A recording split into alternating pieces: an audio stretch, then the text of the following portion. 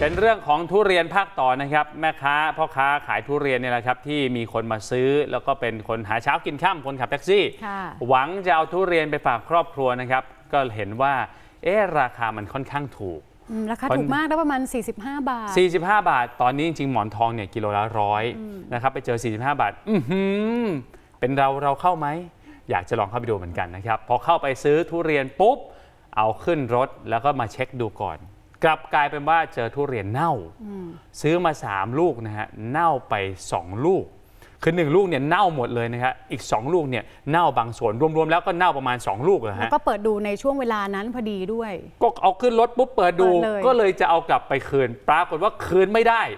พ่อค้าแม่ค้าขายทุเรียนบอกว่า ซื้อแล้วไม่รับคืน แล้วก็ยังมีถ้อยคำมีอากับกิริยาออกมาที่ไม่สุภาพค่อนข้างเยอะด้วยนะคะอะไปดูกันครับ นี่นะครับ ขายทุเรียนพ่อค้าขายทุเรียนยังไม่ได้ออกจากร้านเลย ทุเรียนเสียเนี่ยนะครับ เห็นไหมฮะ มีรถกระบะนะครับ ขายทุเรียนแล้วก็มีป้ายติดว่าโลละ 45 โอ้โหขายทุเรียนเห็นแบบนี้แล้วก็น่าจะเข้าไปนะยังฮะไม่ได้ออกจากร้านและที่สำคัญครับ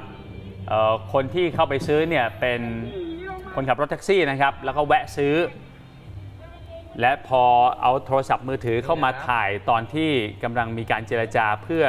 จะเอาทุเรียนไปคืนและขอเงินคืน ระหว่างนั้นแหละครับพ่อค้าแม่ค้าทุเรียนก็ตะโกนมาเมื่อสักครู่นี้คงจะได้ยินนะฮะบอกว่าไม่ให้ถ่ายนะครับนี่ก็เลยต้องไปแจ้งความกับตำรวจแบบนี้แหละครับ เหตุการณ์นี้เกิดขึ้นนะฮะไปเจอพ่อค้าแม่ค้า ซื้อทุเรียนแล้วไม่ยอมให้เปลี่ยนเนี่ยเป็นเหตุการณ์ที่เกิดขึ้นในถนนศรีนครินครับใกล้กับโรงพยาบาลเปาโลสมุทรปราการ แล้วก็เผยแพร่ออกไปในโลกโซเชียล มีคนแชร์ต่อกันเป็นจำนวนมาก นอกจากนั้นวิพากษ์วิจารณ์ด้วยนะครับว่าเป็นพฤติกรรมในการค้าขายที่ไม่เหมาะสมเลยนะฮะการตรวจสอบล่าสุดพบว่าเจ้าของคลิปคือนายนัชพลวีรกุลอายุ 40 ปีอาชีพขับแท็กซี่เนี่ยนะครับก็เข้าไปในรถเพื่อความปลอดภัย แล้วก็ถ่ายคลิปเอาไว้ด้วยนะครับเขาบอกว่าระหว่างตระเวนหาผู้โดยสารอยู่เนี่ยนะครับก็ไปเห็นรถขายทุเรียน แล้วก็ติดป้าย 45 บาทต่อกิโล ก็เลยสนอกสนใจอยากจะหาซื้อนะครับลงมาซื้อซื้อไปทั้งหมด 3 ลูกครับ ซึ่งคนขายเป็นคนเลือกให้นะฮะแล้วก็เอามาชั่งกิโล น้ำหนักรวมก็ 7 กิโลกว่าๆรวมประมาณ 345 บาทพ่อค้าแม่ค้าก็ได้เอาทุเรียนทั้ง3เนี่ยไปเฉือนปอกเปลือกให้เรียบร้อยนะครับ แต่ว่าตนเองไม่ได้เช็คไม่ได้แง้มดูทุกอันว่าสภาพเป็นอย่างไร ไม่ได้เอะใจอะไรครับ พอเอาขึ้นมารถ ก็เลยลองแง้มดูปรากฏว่า เอ๊ะมันเน่านะ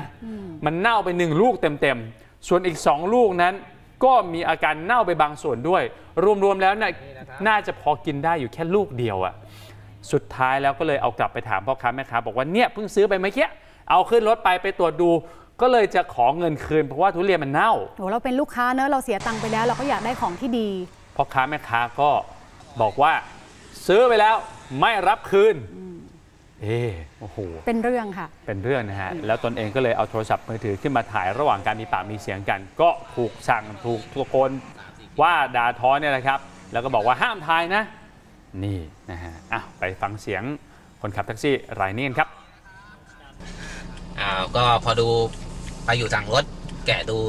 ดูแล้วมันเสียอยู่หนึ่งลูกหนึ่งเต็มๆเลย อีกสองลูก มันได้บ้างไม่ได้บ้างครับก็เลยเดินกลับมาหาเขา มาถามเขาว่า เนี่ยทุเรียนมันเสีย จะขอคืนตังค์ได้ไหม เพราะว่ายังไม่ได้ออกไปไหนเลย เนี่ยเขาก็บอกว่าไม่ได้ ของทุเรียนเขาซื้อมาแล้ว ซื้อแล้วไม่รับคืนครับเออพอซื้อแล้วไม่รับคืนปุ๊บก็มีปากเสียงกันเถียงกันเรื่องทุเรียนจะคืนไม่คืนเนี่ยนะครับพอพอสักพักหนึ่งผมก็จะเอาโทรศัพท์เนี่ย มาถ่ายรูปรถเขาตอนแรกอยู่นอกรถ เขาก็โวยวายเอ้ยถ่ายทำไมถ่ายไม่ได้นะ อย่างนี้อยู่นู้นนี้เราก็ไม่กล้าถ่าย ก็เลยเดินขึ้นมาบนรถเดินขึ้นมาบนรถเสร็จ แล้วก็จับโทรศัพท์ถ่ายตามในคลิปเลยครับนี่ครับก็ได้ไปแจ้งความลงบันทึกประจำวันเอาไว้เป็นหลักฐานเรียบร้อยนะครับที่สพเมืองสมุทรปราการ เนื่องจากว่ากลัวว่าฝ่ายคู่กรณีที่เป็นพ่อค้าแม่ค้าขายทุเรียนเนี่ยนะครับจะมาทำร้าย เพราะว่าไม่พอใจที่นำคลิปเหตุการณ์นี้ไปเผยแพร่นะครับ แต่ว่าเขายืนยันว่าไม่ได้มีเจตนาในการทำร้ายครับ ต้องการถ่ายเพื่อเป็นอุทาหรณ์แล้วก็เป็นประโยชน์ในการคนอื่นๆเนี่ยจะได้ไปเลือกซื้อทุเรียน โดย